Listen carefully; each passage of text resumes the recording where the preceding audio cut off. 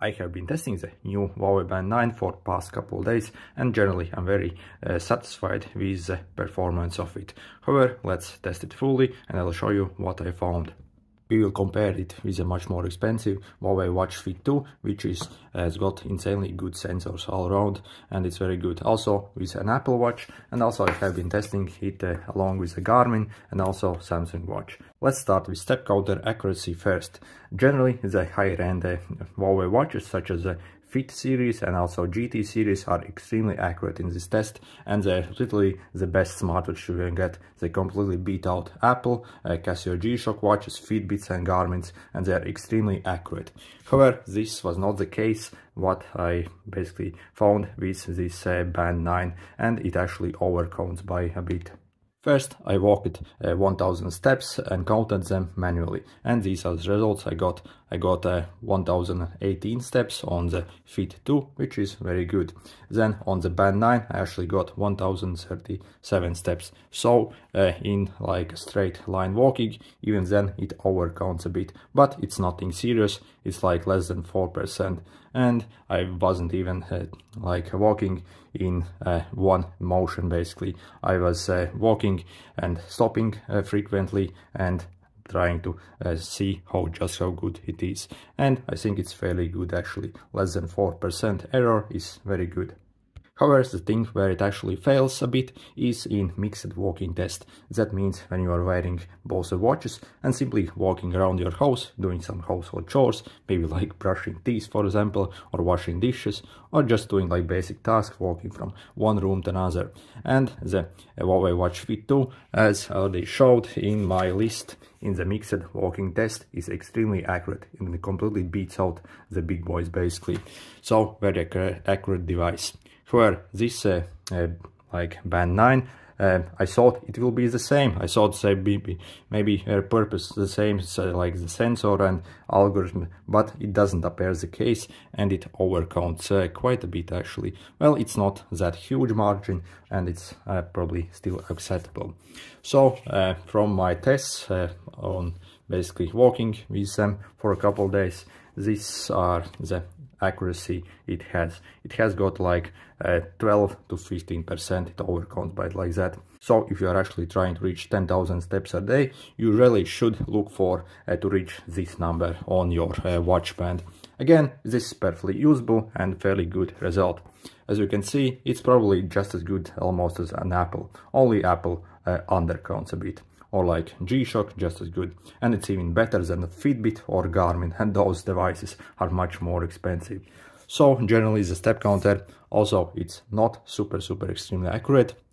I think it's very good still and it's better than other devices.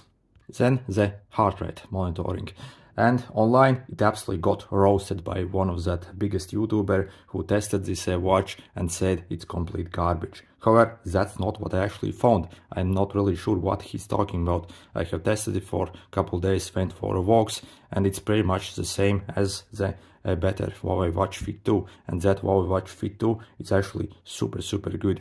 The only negative thing I found with this uh, Band 9 basically is that you have to wear it like uh, very tightly on your wrist. If you wear it uh, kind of loosely, uh, for example, it doesn't really matter say in what way you wear your Apple Watch or Garmin, uh, basically they still provide very good uh, heart rate reading. Whereas this one I found unless you actually tighten it up fairly tight, it uh, it sometimes lags a bit. So that's something to consider maybe, and that's maybe where you can get error from. Also, I found out that the heart rate sensor isn't as responsive as on the Fit and also the Apple Watch. So it actually it's kind of a bit sluggish. So for example, if you are doing like a HIIT workouts, uh, it uh, will give you some error compared to the better heart rate sensors. Okay, so my heart rate after I'm walking and as you see, all three devices pretty much show the same. And they're generally within one or two points between each other. As you can see, when I'm walking basically overall I'm not really seeing any huge difference between all of them and I think the Band 9 is uh, just as fine as the Fit and as the Apple Watch almost.